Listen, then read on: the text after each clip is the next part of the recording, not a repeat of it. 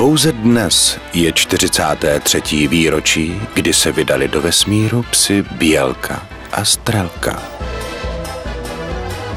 Ale koruní můžete pít každý den. Jako jediná totiž obsahuje Optimineral, vyvážený poměr minerálů.